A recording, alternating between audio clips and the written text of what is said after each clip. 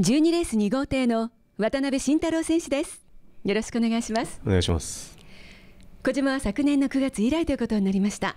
今回は使用5節で2連対率が32%のエンジンなんですが前件の感じはいかがでしたか？至って普通ですね。はい。この前件はプロペラの調整等はなさらずに？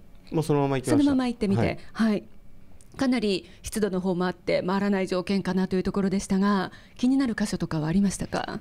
いやもう前件独特の回転の上がりでしたから、はい、もう気にしてないですね。小島だとこんな感じかなという、はい、はい、その特訓の後にプロペラの調整をされ始めた。はい、これはご自身の形に叩き替える、ね、はい、はい、それで初日に乗ってみてどんな変化があるかですね。そうですね。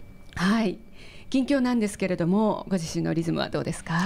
2月にフライン切ってからちょっと悪いですね。はい、ではここ春先向けて少しリズムを上げていきたいところですね、はい、小島で。では一節間にかける意気込みをお願いします。そうですね。精一杯最後まで頑張りたいと思います。応援してください。